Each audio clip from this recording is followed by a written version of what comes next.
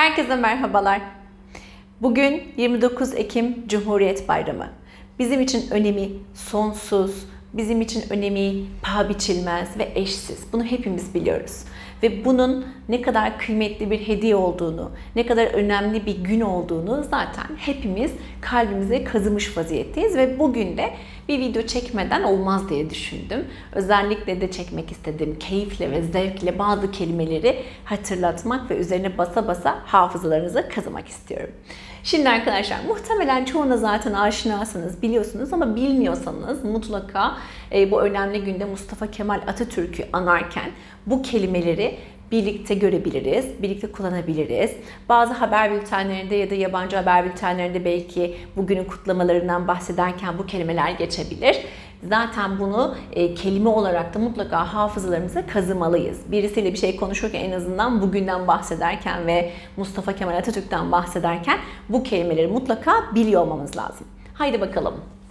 Founder, kurucu. Yani biz ne diyoruz? Türkiye Cumhuriyeti'nin kurucusu Mustafa Kemal Atatürk'tür diyoruz.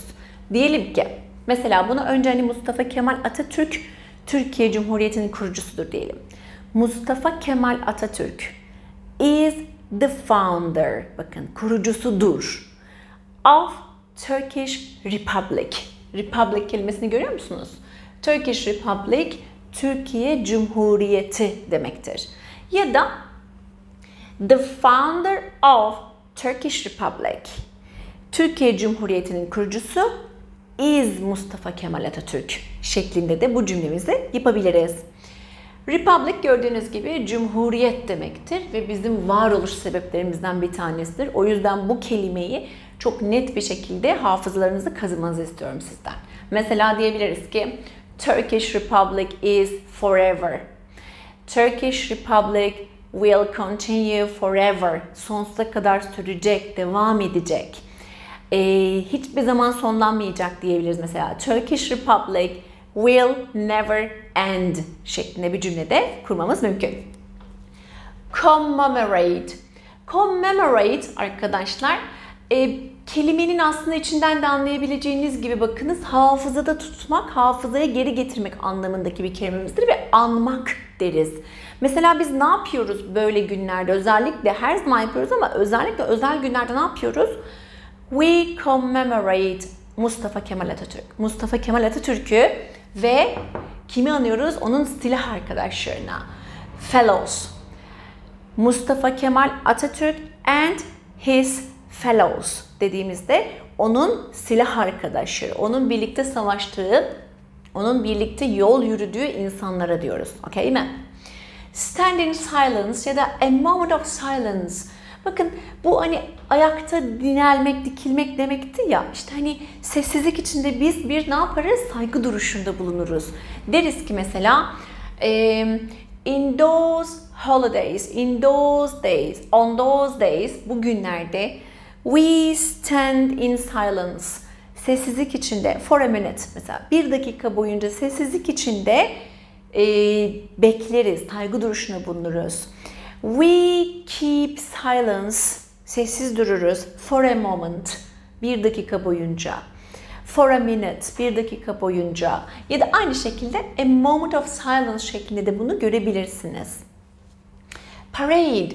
Bu da arkadaşlar e, her türlü festivalde de yine olabilir ama özellikle bu tür resmi bayramlarımızda bir geçit töreni olur. İşte o geçit töreninin adı parade'dir ve biz hep ne yaparız mesela deriz ki işte ben geçit töreninden çok gururlandım, çok duygulandım, çok böyle hmm, etkilendim.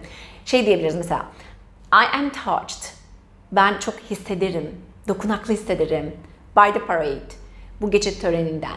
Ya da derim ki I am proud of. Ben gurur duyuyorum the parade derim mesela. Geçit töreninden. I was amazed. Büyülendim. I was um, I was feeling very um, excellently, very emotionally while watching the parade. Bak izlerken yapabilirim. İzlerken e, çok böyle harika hissettim. I was full of excellent emotions. Muhteşem duygularla doluydum while watching the parade, geçit törenini izlerken.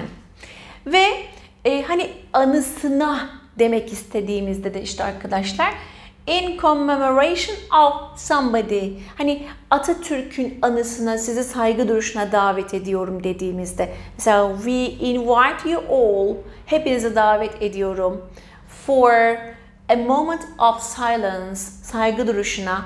Ne için? In commemoration of Mustafa Kemal Atatürk and his fellows şeklinde bir cümleyle karşılaşabilirsiniz. Bu tür e, kutlamalarda gerçekten coşkuyla doluyorum ve her seferinde ne kadar e, büyük bir hazineye sahip olduğumuzu, belki de dünyadaki en şanslı toplum olduğumuzu Mustafa Kemal Atatürk'ün bize vermiş oldukları sayesinde anlıyorum ve o yüzden bu tür e, kelimeleri öğretirken daha da duygusal, daha da böyle coşkulu hissediyorum kendimi. İnşallah siz de aynı duygular ve düşünceler içindesinizdir. E, ve inşallah bu kelimelerin içinde yeni öğrendiğiniz kelimeler de vardır. Yeni öğrendiğiniz kelimeler olmasa bile e, hatırlamak ve hatırlatmakta her zaman yarar görüyorum. Kendinize çok iyi bakın. Hoşçakalın.